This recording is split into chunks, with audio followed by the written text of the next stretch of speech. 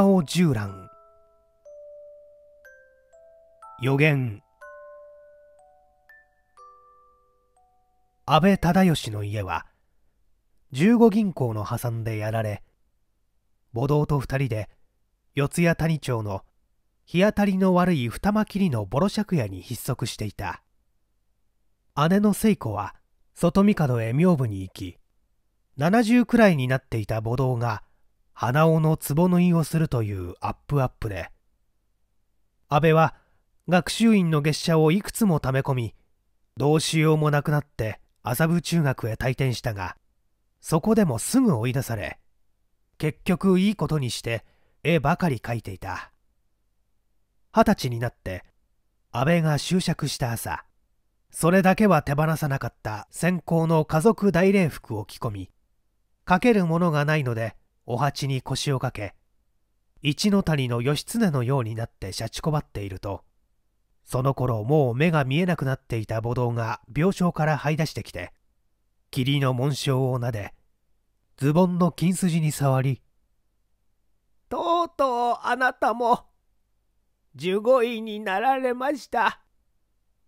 と喜んで死んだ。安倍は17ぐらいから絵を描き出したがひどく窮屈なものでリンゴしか描かない。腐るまでそれを描くとまた新しいのを買ってくる。姉の聖子は不審がって何かもっと他のものをお描きになればいいのに。と言いおいおいは気味悪がってリンゴばかり描くのはもうやめてください。と反対したが安倍が考えているのはつまるところ。セザンヌの思想を通過してあるがままの実在の絵で鮮明しようということなので一個のリンゴが実在する不思議さを線と色で追求するほか何の興味もないのであった。安倍は美男というほどではないが柔和な爽やかな感じのする好青年で一人としてこの年少の友を愛さぬ者はなかった。仲間の妹や姪たちも皆熱心な同情者でそれに我々がいいくらいにけしかけるものだから四谷見附や中町あたりで待ち伏せするようなのも3人や5人ではなく貧乏な安倍のために進んで進化に就きたいのも大勢いたが坂田忠敬の二女千代子が最後まで粘り通してとうとう婚約してしまった。坂田はもとより千代子自身生涯に使い切れぬほどのものを持っているのでそちらからの流通で安倍の暮らしも幾分楽になり4年ほどは何事もなく制作三昧の生活を続けていたが安倍が死ぬ年の春ウィーンで精神病学の研究をしていた石黒利道がパリのボラールでセザンヌの生物を2つ手に入れそれをルスタクへ送ってよこしたということを聞きつけた。セザンヌは安倍にとって常に深い啓示を与える神のごときものであったからそうと聞きながら参詣せずに置けるわけのものではない。紹介もなくいきなり先方へ乗り込むと石黒の細君が出てきて「まだどなたもご存じないはずなのに」とひょんな顔をしたがこだわりもせずにすぐ見せてくれた。一つは陶器の水差しとレモンのある絵で一つは青いリンゴの絵であった。画集では幾度も見たが本物にぶつかったのは初めてなのでこれがセザンヌのバリューなのかこれがセザンヌの青と木なのか物体に対する適度の光。自分と物体の間にある何とも言えぬ空気の適度の量。セザンヌが好んだと言われる曇り加減のしっとりとした午後の光線までありありと感じられただもう恐れ入るばかりだった。それ以来安倍は石黒の留守宅に入り浸っているようだったが昔の待ち伏せ連が安倍さんも案外ね。というようなことを言い出すようになった安倍が石黒の細君と怪しいというのだがどうしたいきさつからか石黒の細君がベロナールを飲んで自殺するという大喜利が出それを毎夕新聞が安倍の名と並べて書き立てたのでだいぶうるさいことになった一度安倍に誘われてその絵を見に行き石黒の細君なるものにあったが縁字の入った滝島のお召しに古金蘭の丸帯を締め大きなガーネットの首輪をしているというでたらめさで絵を見ているわずかな間に酒の支度ができ「お二人とも今日は虜よ」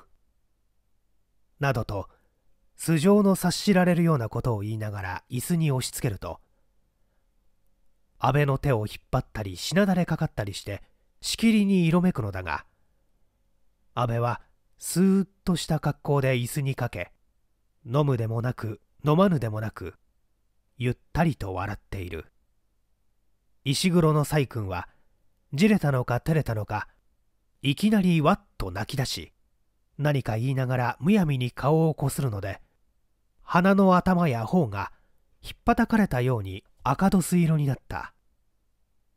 もともと眉が薄く目がきょろりとしているので上野の動物園にいたオランビンバタンという赤っ面の猿そっくりの面相になりとても見られたざまでない。手も足も出るどころかどんな物好きな男でも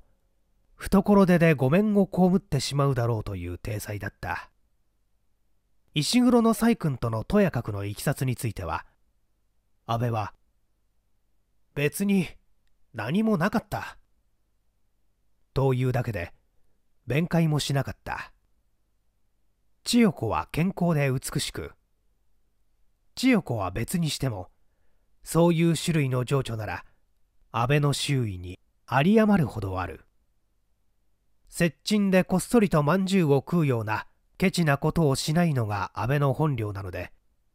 おおよそ考えたって世間で言うようなものでないことは安倍を知るくらいのものは皆承知していた。石黒の細君の自殺も変なもので嫌われたぐらいで突き詰めるような人柄とも見えない。その頃石黒はシベリアの途中まで来ていたがそれが日本へ帰り着く前に安倍を陥落させようとあれこれ手札を尽くしているうちについお芝居に身が入りすぎたというようなことだったのだろう。それから10日ほどして石黒が帰ってきた。一面遮奪で利罪にもたけ落合にある病院などもうまくやり理智と世妻に事欠くように見えなかったが内実は悪念の盛んな時と復讐の念の強い妙にそげた陰鬱な正常らしく新聞社へ出かけていった安倍の残訴をしたり何とかいう婦人雑誌に自殺した妻を思うという公開上めいたものを寄稿したり安倍が石黒の細君を誘惑したとしか取れないような言い回しをするので世間は何も知らずに安倍を悪く言うようになった。坂田は腹を立てて告訴すると息巻いたが何と言っても亭主の留守へ入り浸ったという一条があるので強いことばかりも言えない。それで仲間と伯爵団の有志が会館へ集まっていろいろ相談した結果このままでは懲罰委員会というようなことにもなりかねないからいっそ早く結婚させて2人をフランスへでもやってしまえということになり式は11月25日。日比谷の大神宮。披露式は麻布の酒田の屋敷でダンス付きの晩餐会。船は翌日26日横浜出版の仏国優先アンドレル・ウォン号とバタバタと決まってしまった。結婚式の前日ウィーンから帰ったばかりの柳沢と二人でいるところへ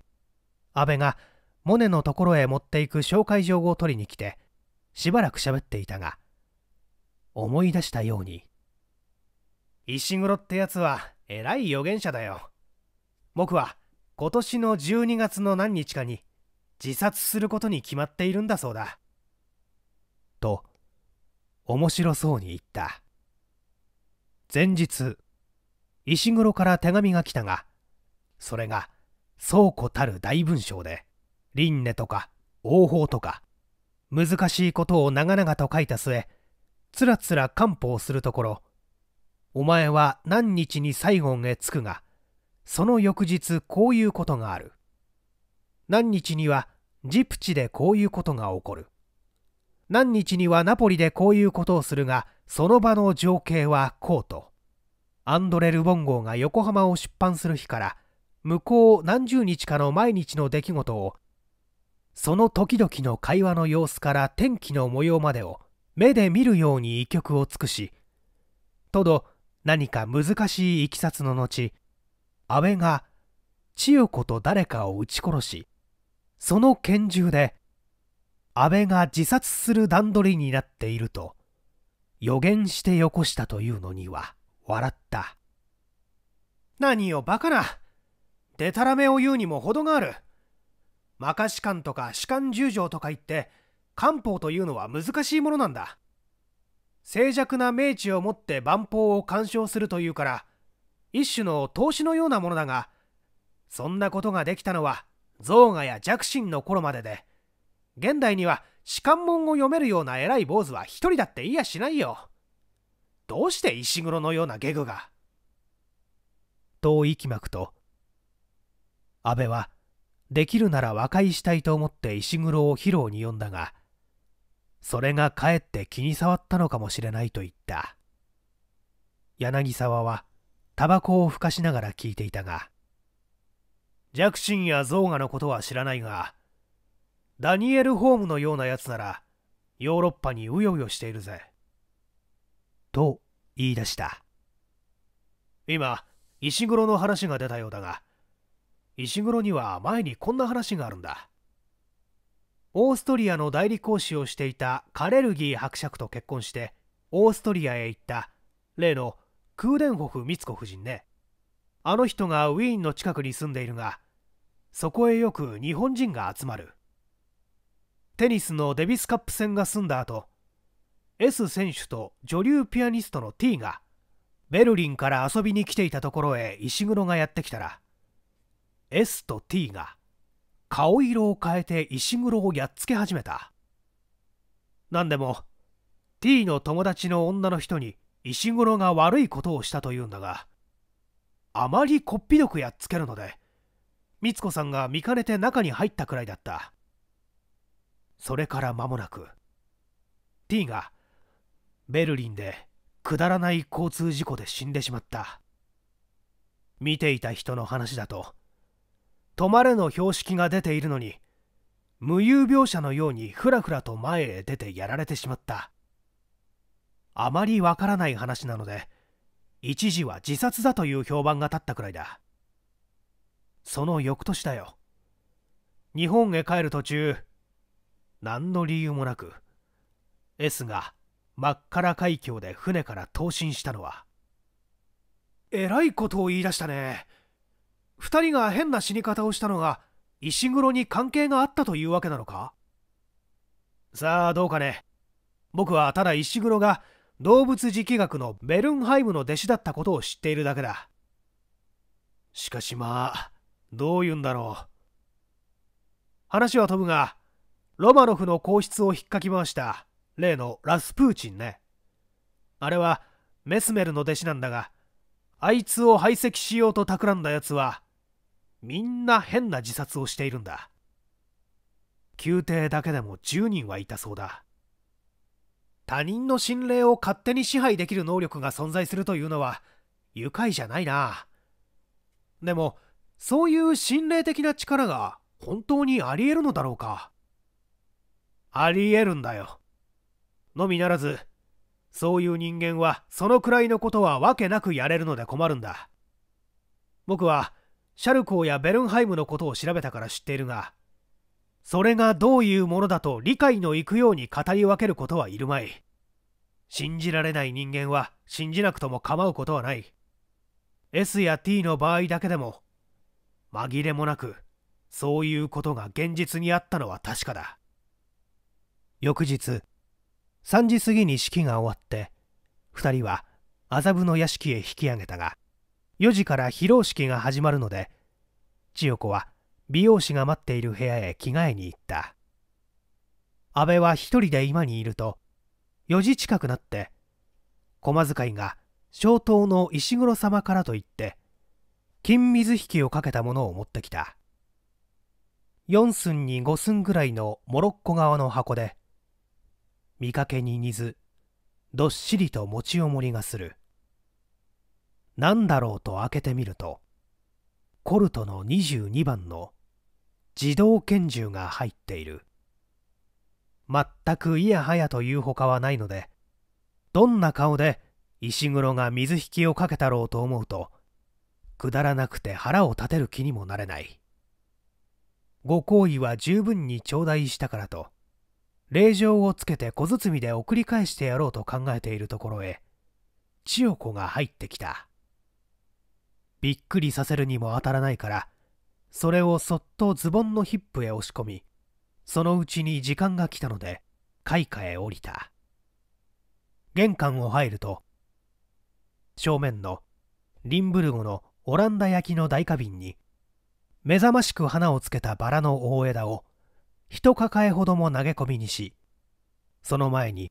安倍と千代子が立ってニコニコ笑いながら出迎えをしていた。そこへ坂田が来て二人の方を顎でしゃくりながら「なかなかいいじゃないか」と自慢らしく言う。大振袖を着た千代子も美しいが塩ビ服を着た安倍も見事だ。安倍を千代子に取られたとも思わないがやはりいまいましい。こりゃちょっと口惜しいねすると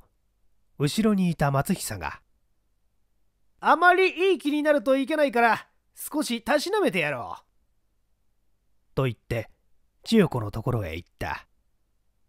千代子さん安倍を一人で取ってしまった気でいては困るよ。あなたにはいろいろ恨みがかかっているんだ。男の恨みも女の恨みも気をつけなくちゃいけない千代子は。ええそれはよく承知していましてよ。もうさんざどやされましたわ。と嬉しくてたまらない風だった。二人は5時ごろまで玄関に並んで出迎えをしたり祝詞を受けたり華々しくやっていた。そのうちにホールで余興が始まり主だった人もきつくしたようなので脇間に集まっている女子部時代の仲間に千代子を引き渡し安倍はホールへ続く入り側になった廊下の方へ歩いていった。一方は広い芝生の庭に向いた長いガラス扉で一方はホールの窓がずっと向こうへ並びそこからシャンデリアの光があふれ出している。暮れ切ったがまだ夜にならない夕なずみな微妙なひとときで水色に澄んだ初冬の暮れ空のどこかに夕焼けの赤みがぼーっと残っている。木のない芝生の庭面の薄明かりに溶け込み空と大地のけじめがなくなって曇り火の古沼のようにぼうぼうとしている。儚いしんとした妙に心にしむ光景だった。安倍は眠いようなうっとりした気持ちで人気のない長い廊下を歩いていると不意に目の前に人影がさした。驚いて右へ避けようとすると向こうも右へ避ける。反対に動くと向こうもそっちへ寄る。23度ちんちんもがもがやっているうちに互いに立ちすくんで睨み合うような形になった。こんな羽目になると大抵なら「やあ失礼」とかなんとか言って笑いほぐしてしまうものだが相手はひどく機嫌を損じた風でむっとこちらの顔ばかりねめつけている窓と窓との間の薄闇のおどんだ壺に立っているので曖昧にしか見えないが目の強い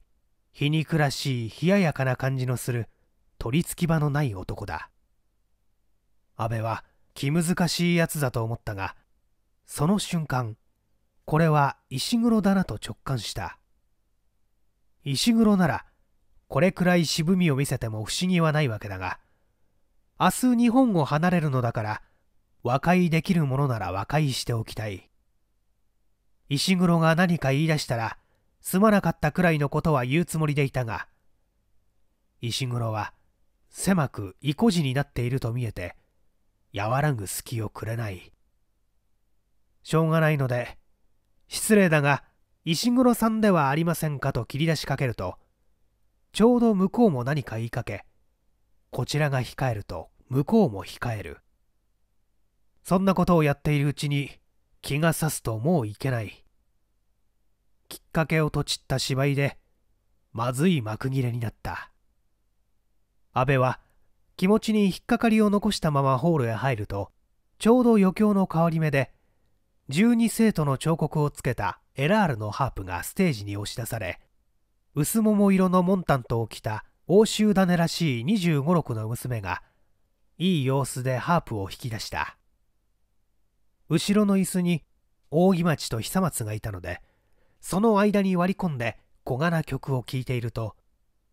どうしたのか辺りが急に新刊として何の物音も聞こえなくなった。安倍は寂しいなとつぶやいているとステージの端の方へ上下を着た福助がちょこちょこと出てきて両手をついてお辞儀をした。安倍は「おや福助さんが出てきた」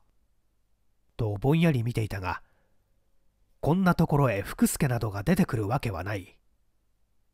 今日はよほど疲れているなと思ってしばらく息を詰めていると間もなく福助はいなくなり変に寂しい感じも取れた。老校のテーブルスピーチなどがありにぎにぎしく派手な晩餐会で8時からホールでダンスが始まった。12時過ぎにそれも終わり皆を送り出して2階の居間へ引き取ったのはもう1時近くだった。千代子は疲れた様子もなく幸福でしょうがないというふうに安倍の胸へ顔を押し付けたりしてからいそいそと着替えの手伝いを始めたがズボンに入っていた拳銃を見つけると顔色を変えて安倍の方へ振り返った。安倍は言い訳をしようとしたがこんなものを石黒が送ってよこしたなどとは申せない。結婚式の夜新郎のズボンのヒップに拳銃が入っているなどというのは平凡なことではないから説明は難しい。これは弱ったと思ったら安倍の顔色も変わった。千代子は利口だから何も尋ねなかったが明るかるべき大切な書屋にそれで暗い影のようなものを残した。アンドレ・ルボン号は真っ白に塗った1万6000トンの優秀船でポール・クローデル大使が同じ船でフランスへ帰るので賑やかな出版だった。夕方チャイムベルが鳴ったので食堂へ出ると一等の日本人は安倍と千代子の二人きりで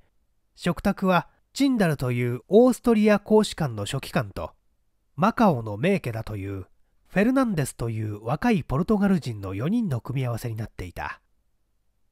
夫婦もとりわけ神父ということになると水入らずで2人が組み合うように計らうのが普通だが婦人客の少ない航海だったので千代子のような若い美しい婦人を亭主だけに独占させておくのは公平でないと事務長は考えたのかもしれない。チンダルはオーストリアの古い貴族だそうだがいつも硬いカフスをつけている作法のやかましいやつで話といえば宗教論ばかり。フェルナンデスの方はもみあげを長くし洒落たタキシードを着潤んだような公職じみた目を持った地頃風の色男で立つにも座るにもうやうやしく千代子の手に接吻しシナからマカオをひったくったアルバーロ・フェルナンデスは私の大祖父で銅像は今もマカオにありますなどと具にもつかぬことを口走るので安倍は最初の一日から食欲をなくしてしまった。外国船の生活は一人で孤独を楽しむようなことは絶対に許さない念入りな仕組みになっているもので9時の朝食に引き続いて11時のビーフティ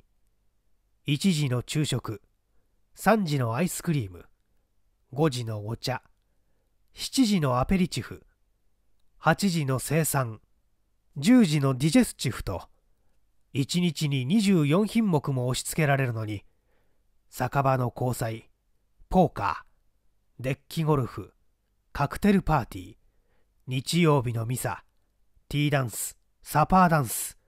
運動競技福引きと手を変え品を変え出席しないと事務長から催促の電話が来る。千代子の方は大変でサイゴンを出版した夜船長のアトホームに敬意を表して和服で出たらこれが大喝采で。以来ティーダンスにもサパーダンスにも義務のように引っ張り出され午後と夜はほとんどラウンジか舞踏室で暮らし安倍とはたまに食堂で顔が合うくらいのものであった。船はマラッカ海峡からまだ荒れ気味のインド洋へ入ったが安倍は慣れない暑さで弱っているところへインド洋の長いうねりにやられて不機嫌になりアンドレ・ルボンというちっぽけな枠にはまった車高と一日中鏡の上に座って人から見られる自分の姿ばかり気にしているような生活が我慢のならぬほどうるさくなり船酔いを口実にして食堂へ行かず船室にこもって汗もかかずに淡然と絵ばかり描いていた。欧州航路の外国船には婦人帽子賞とか婦人小物賞とかと名乗り高級船員や乗客のその方の御用を承る女たちが必ず2人や3人は乗っているものだがコロンボを出版する頃から船の車高というものがそろそろ正体を表しかけそういう婦人たちが二島からやってきて公然とダンスに混じりサイゴンから乗った怪しげなフランス人が徒党を組んで朝から甲板でアブサントを煽るという狼藉ぶりになった。コロンボを出版して3日目の明け方安倍がふと目を覚ますとそばに寝ているはずの千代子がいない。隣の化粧室にでもいるのかと見てみたがそうでもない。待っていたが帰ってこないので水を一杯飲んで寝てしまった。翌朝起き出してから尋ねると千代子は「どこへも行きはしなくってよ。夢でもご覧になったんだわ」と笑い消してしまった。昨夜水を飲んだコップが矢宅の上にある。夢であるはずはなかったが言い張るほどのことでもない。しかし変な気がした。ジプチへ入港したのは12月24日だった。ジプチはいかにもアフリカじみた暑い殺風景な港だったが長い航海に皆飽き飽きしていたので船でレベーヨンをしたのはほんの老人組だけで乗客のほとんど全部が夕方から上陸してホテルへ騒ぎに行った。千代子も事務長たちと一緒に町へ行ったが朝の5時ごろ前後不覚に泥酔してフェルナンデスに抱えられて帰ってきた。靴はどこへやったのか喘息で。ソアレの背中のホックが外れて白い肩がむき出しになり首から胸のあたりまで薄赤い妙な斑点がベタ一面についている。安倍は礼を言ってフェルナンデスに引き取ってもらったがいくら安倍でもジンマシンだろうか飲みの後だろうかなどと見当違いするほど単純でもない。飲みは飲みでもタキシードの襟にカーネーションの花をつけた大きな飲みなので安倍もムッとしないわけではなかったが西洋の女たらしというものはどれほど必要で抜け目がなくそういうものに対して日本の女性がいかにもろくできているかということも承知している。こんな結構なエピキュールの園に40日もいたら頭のしっかりした人間でもいくらか寸法が狂ってくるのは当然なことでつまりはこういういかがわしい習俗の中で暮らすようになった巡り合わせが悪いのだと無理やりそこへ煎じつけた。地中海へ入ると急に温度が下がった。海の形相がすっかり変わって三角波が白い波の方を飛ばしミストラル気味の寒い尖った風が40日目の滝をいっぺんに吹き払ってしまった。安倍は急に食欲が出て久しぶりに食堂へ出かけていくと半白の上品な顔をした給仕長が安部を見るなり給仕の一人に何かささやいてから安部のところへ来て「ただいま」とうろたえたように言った。見ると今ささやかれた給仕が隅の補助卓にナップをかけ食器を並べ大慌てに安倍の食卓を作っている。なるほど。食卓の組み合わせが変わってチンダルは大宅へ移り千代子とフェルナンデスが奥の二人宅で向かい合って食事をしている。つまるところここにはもう安倍の食卓はないというわけなのであった。奥の二人は気がつかなかったが食堂にいる人間は皆フォークの手を休め互いに目配せをしながら入り口に突っ立って食卓のできるのを待っている安倍をくすぐったそうに見お許しが出るならいつでも吹き出しますといった顔つきだった。そのうちに千代子が気づき急に立ち上がろうとしたがフェルナンデスは行くほどのことはないというふうに腕を取って引き止めるのが見えた。安倍はそのまま船室へ引き取ったが考えてみると毎日むっつりと絵ばかり描いていて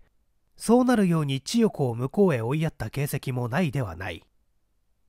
フェルナンデスなどという木造はどうなったって構うことはないがなるたけ千代子を傷つけずに済むような解決にしたいと思った。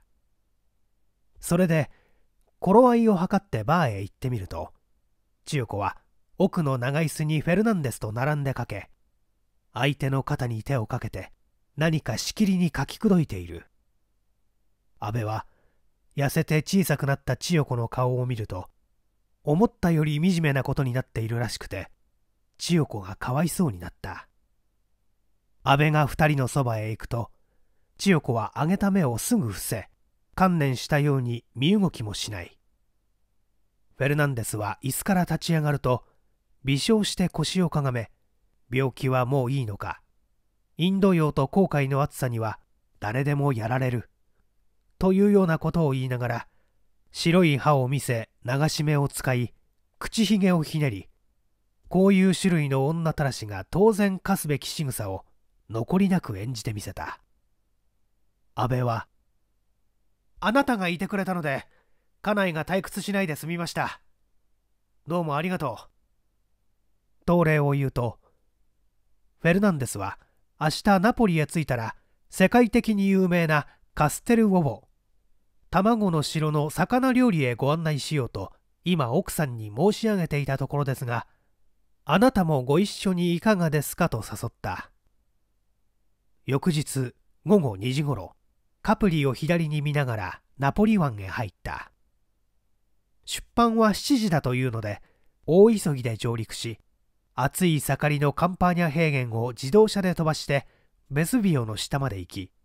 またナポリへ戻って休憩車の狭い町々を駆け回ってから海へ突き出した古い城壁のある島の生臭い屋台店の並んだ板の上のチ・テレースという料亭へ押し上がった。3人はテラスへ出て夕日に染まりかけたベスビーを眺めながらビールを飲んでいるとエオリアンという小さなハープとマンドリンを持った二人連れの流しが来ていい声で歌を歌った。そのうちに矢部はテラスにこうして座っていることもこのナポリ湾の夕焼けの色も流しの音楽も。すぐそばで揺らぐ観覧の外れの音も何もかもひっくるめてこのままのことが確かに過去に一度あったような気がしてきた。どういうところからこういう情緒が引き起こされたのかと気の沈むほど考えているうちにいつかの石黒の手紙の中にこの景色があったのではなかったかとふとそう思うと我ともなく戸胸をつかれた。ちょうどそれを読み終わったところへ千代子が入ってきたので何気なく机の上のスケッチブックの間へ挟んだようだったがそのスケッチブックなら船の倉庫室の大トランクに入っている。安倍は船に帰ってあの手紙を読み返し事実かどうか確かめてみたいという苛立ちで辺りの景色が目に入らなくなってしまった。船へ帰ると千代子は早々に着替えてラウンジへ出て行ったので安倍はクロークの大トランクを開けてみると果たして手紙はあの日のままスケッチブックの間に挟まっていた。あの時は笑って済ませられるようなものだったが改めて読み返してみるととてもおかしいなんていう段ではない。いつかの明け方千代子が不意にいなくなったこと千代子が泥酔して帰ってくること安倍が食堂で皆の物笑いになることナポリでは魚料理へ行くがその料亭の名はチ・テレースとその日その時の情景や状況が自身で日記をつけたようにいちいち司祭に書きつけてあるのでやつれてしまった。どういうお先走りな心霊がこんな細かいことまで見抜いてしまうのか。理屈はともかく何もかも皆的中しているのだからどうしようもない。あの時の記憶では12月の何日かに千代子と誰かを撃ち殺し自分もその拳銃で自殺すると書いてあった。今日までの毎日が石黒の予言通りに運んできたのならこれからもやはりそのように動いていくと思わざるを得ない。先を読んでみようと思うと手紙は卵の城から帰ってきたところでなくなっている。安倍はスケッチブックを振るったり床を張ったりして探したがない。思えばあの時残りの何ページかを畳んだまま机の上に残してきたような気もする。船はナポリを出版したらしく窓の中で雲が早く流れている。その雲を目で追っているうちにもう絶対絶命だという気持ちが胸に迫ってきた。石黒の予言には12月の何日とあった。12月はあとまだ2日と何時間ある。あの2人がどんなまずいところを見せつけたって絶対に逆上しないと決心しても生の神経を持っているのだから次第によってはどんなバカをやらかすか知れたものではない。安倍は汗をかきタバコの味もわからなくなるほど屈託していたがどうでも生の神経が邪魔だというなら今日から2日半の間見も聞きも感じもしないような状態に自分を置けばよろしかろうと考えをそこへ落ち着けるとつまらない思いつきが途方もない良識のような気がして上機嫌になった。そこで適当に GR を飲んでおいて給仕にアブサントを持ってこさせウイキョウとサフランの香りに悩みながら煽りつけ煽りつけしているうちに間もなく混沌となった。それから幾度か覚醒したがその度にアブサントを引っ掛け GR を飲みとうとう夜も昼もわからなくなってしまった。何度目かにふと目を覚まし朦朧と辺りを眺めると部屋の家具の配置が変わっていてどうも自分の船室のようでない。はてなと腰を浮かしかけると何か膝から飛り落ちて床で音を立てた。見ると石黒が送りつけてよこした。例の22番のコルトだった。安倍は慌ててヒップへしまい込みいつの間にこんなものを持ち出したのだろうと重い頭で考えているうちに何ともつかぬ情景をぼんやりと思い出した。千代子が大きな目で安倍を見ながら「あなたは初めっから私を殺すつもりでいらしたのね。今日まで待たなくとも披露式の晩にお殺しになればよかった。と言った。あれは何のことだったのだろう。正面の寝室の扉がよくロックされず船がローリングするたびに一人で開いたり閉まったりしている。気当たりがして中を覗いてみると寝台の上にフェルナンデスがうつ伏せになり千代子の方はひどくちぐはぐな格好で床の上に伸びている。バカな念は入れなくとも二人の魂魄はもう肉体にとどまっていないことが一目でわかるような状態になっていた。安倍は流血の場からそろそろと退却し船室の扉に鍵をかけて冷たい風の吹き通る UFO 看板へ出ると今晩もまたお祭りがあるのだと見え舞踏室の方から盛んなジャズの音が聞こえてくる。安倍はブルーワークにもたれて星の光のきらめき落ちる暗い海を眺めどうせ自殺するに違いなくとも何から何まで石黒の予言通りに動いてやることはない。せめて最後の一点だけを自分の力で狂わせてやりたい。コルトでなく海へ飛び込んで死んでやろうと真面目になってそんなことを考え力任せにコルトを海へ投げ込むと20年の起こりがいっぺんに落ちたようにさっぱりした。何しろ面白くてたまらない。ざまあ見ろと言いながら靴を脱いでブルーワークに登りその上に馬乗りになってマラッカ海峡で投進した S も多分こんな具合だったのだろうとニヤニヤしていると向こうの通風塔の後ろから紙の三角棒をかぶった先客が3人よろけながらやってきていや呼吸先生がこんなところで一人で遊んでいると無理やり引きずり下ろして舞踏室へ担ぎ込んでしまった。今日はどういう周囲のパーティーなのか。よくもまあこんなに振りまいたと思うくらい色とりどりのコンフェッチが食卓にも床にも雪のように積もり天井から雲の巣のように垂れ下がった色テープの下で三角棒や紙の王冠をかぶった乗客がしどろに踊っている。安倍は酔い崩れそうになっているそばのフランス人に今日は一体何の会だと尋ねると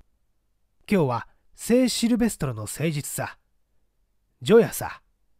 つまり12月31日さ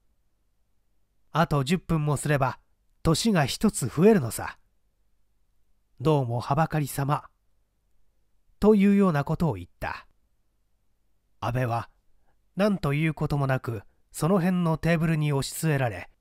誰が継いでくれたともわからないシャンパンをガブガブ飲んでいると事務長が笑いながらやってきて新しい年のスターターの役をあなたにお願いすると言った。どんなことをするのかと尋ねると午前0時にピストルを撃ちそれを合図にシャンパンを皆の頭に振りかけておめでとうを言うんです。私がここにいて秒針を数えますからさあと言ったら撃ってください。生薬だけで弾丸は入っていませんからご心配なく。と言って安倍の手に拳銃を押し付けた。12時59分になると船長はコルクを緩めたシャンパンの瓶を高く上げ事務長は30、20と秒針を数え始めた。安倍は少しばかり石黒にからかってやれと思って銃口を曖昧に自分の胸に向け合図と同時に笑いながら引き金を引いた。その途端左の鎖骨の下あたりにえらい衝撃を受け目の前が芝居のどんでん返しのように日本を立つ前の晩の披露式のホールの景色になった。皆椅子にかけて。ステージで欧州種の娘がいい様子でハープを弾いている。目を落とす前に自分の過去を一瞬のうちに見尽くすというがすると俺はやはり死ぬんだなとぼんやりそんなことを考えているうちに大地がぐらりとひっくり返った。余興のハープが始まる頃安倍がぶらりとやってきて扇町と松久の間にかけたがしばらくするとポケットからハンカチを出してしきりに汗を拭く。暖房はしてあるが暑いというほどではない。松久が「おいどうした?」と低い声で尋ねたが安倍は返事もしない。環境を催しているようで熱心にハープを聴いていたが終わりに近い頃ヒップから拳銃を出してしげしげと眺め始めたこれは変だと扇町と松久が目を見合わせた瞬間銃口を胸に向けたままいきなり引き金を引いてしまった松久が「バカなことをするな!」と言って支えようとするはずみに安倍は椅子と一緒にひっくり返って胸からたくさん血を出した。それで皆総立ちになった。そこへ千代子が飛んできて「しっかり遊ばして!」と安倍を抱き起こした。安倍はしげしげと千代子の顔を見ていたが渋くにやりと笑うと「石黒にやられた。死にたくない。助けてくれ!」と言った。すぐ病院自動車で大学へ運んだが鎖骨の下から肩へ抜けた大きな傷でついていった人間だけでともかく輸血した。病室へ帰ると安倍は元気になり坂田に「変なことをやっちゃった。船は嫌だからシベリアで行く。一日も早くモネのところへ行きたいから詐称の方を頼むよ」と気楽なことを言った。よしやっておこう。それはいいがどうしてあんなバカな真似をしたんだ？驚かせるじゃないか。と坂田が言うと安倍は澄んだ美しい目で石黒の催眠術に引っ掛けられたんだ。ホールへ入る前廊下で石黒にひどく睨みつけられたから。多分あの時だったんだろう。だが面白いには面白い。ハープを一曲弾き終える間にこれでもちゃんとナポリまで行ってきたんだぜ。と安倍は死ぬとは思っていないから一人ではしゃいでいたが我々はもう長くないことを知っているので何とも言えない気がした。